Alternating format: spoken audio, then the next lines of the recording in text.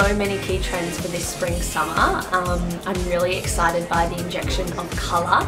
I love the 80s vibe that is really coming through. So think sequins and velvet and sheer paneling and really exaggerated shoulders. I love all of that stuff. Um, Club Tropicana is another trend. So think frills, think really big floral prints, lots of colour, bold stripes. Um, there's also a real romantic trend coming through as well with lots of lace and beautiful um, and long maxi dresses and Victoriana high necks. And I love all the athleisure wear on the on the runway. I spend a lot of time at the gym and a lot of time in gym gear, so I'm loving the, the new range from P Nation and the Upside. I've really got some cool outfits from them actually. I've got a crop and um, a pair of tights, which I, I love. I just love all the colours on it. And the fact that you can not only wear it to the gym, but you can chuck a leather jacket over it and a cool handbag on and you can go to have lunch with your girlfriends or go to a meeting.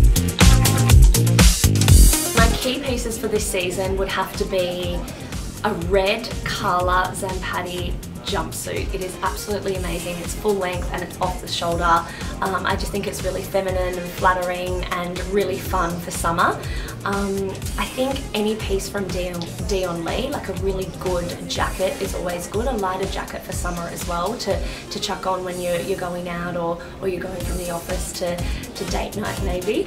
Um, and then I think a really good pair of designer runners. I'm wearing a pair of Balenciaga runners, which is so cool. You wouldn't wear them to the gym, but you can pair them back with your athleisure wear or even a cool pair of jeans and, and really dress it down.